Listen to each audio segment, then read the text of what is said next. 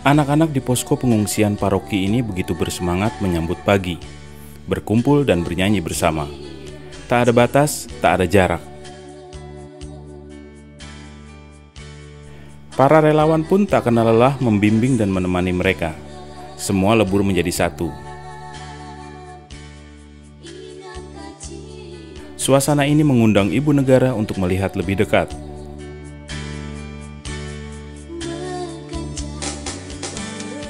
Tak mau mengganggu, diam-diam Ibu Ani Yudhoyono mendatangi anak-anak ini lalu ikut bernyanyi bersama.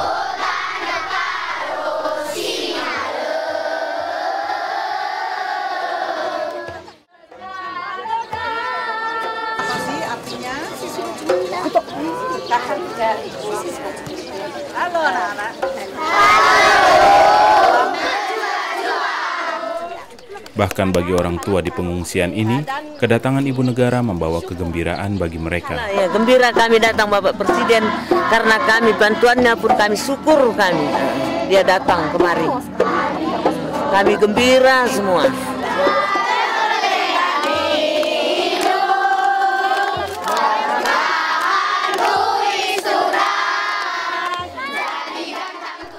Seperti inilah keakraban di posko paroki bersama ibu negara.